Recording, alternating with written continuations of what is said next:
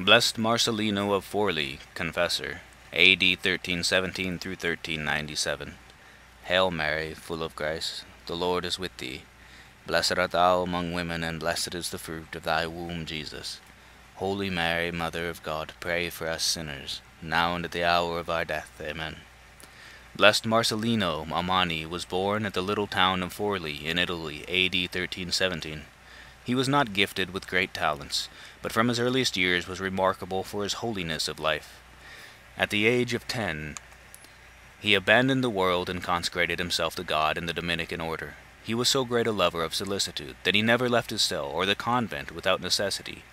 He led a most penitential life, and one of almost uninterrupted prayer. He spoke but little, and was always attentive to the wants of his brethren, and ready to render them any service in his power.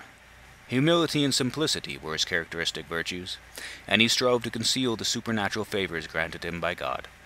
His devotion in celebrating Mass was very great. He often went into an ecstasy whilst offering the holy sacrifice. Some, who treated this holy and simple man with contempt, used to say that he went to sleep at those times. Hence he was closely watched, and the supernatural character of these ecstasies was clearly manifested.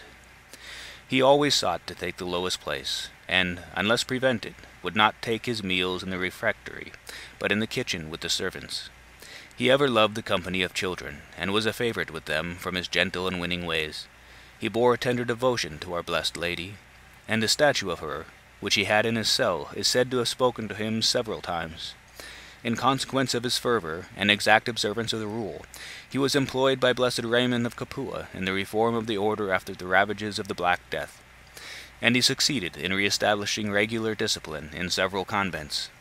He died at the age of 80, A.D. 1397. Scarcely had the, he breathed his last when an unknown child of entrancing beauty, supposed to have been an angel, was seen hurrying through the streets, exclaiming, Hasten to the convent of the friars preachers.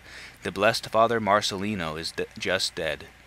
The people, obeying the summons, flocked to the convent, and their faith and devotion was rewarded by many miracles. Blessed Marcolino was beatified by Benedict XIV, A.D. 1750.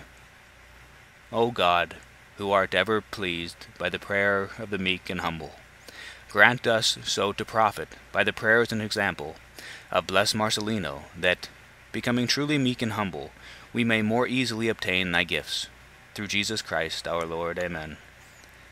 Hail Mary, full of grace, the Lord is with thee. Blessed art thou among women, and blessed is the fruit of thy womb, Jesus.